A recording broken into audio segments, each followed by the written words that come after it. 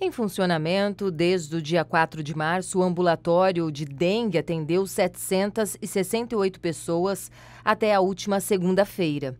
O ambulatório funciona todos os dias, inclusive aos sábados, domingos e feriados, das 7 horas da manhã à meia-noite, no consultório municipal Josefina Pirotelo Pecioto, conhecido como Dona Nina, localizado na rua Antônio Galera Lopes, número 2652, ao lado do Hospital do Pozo Bom.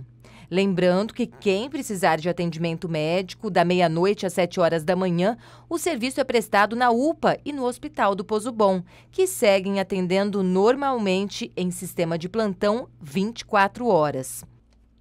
Do começo do ano até agora, Votuporanga já contabilizou 843 casos positivos da dengue.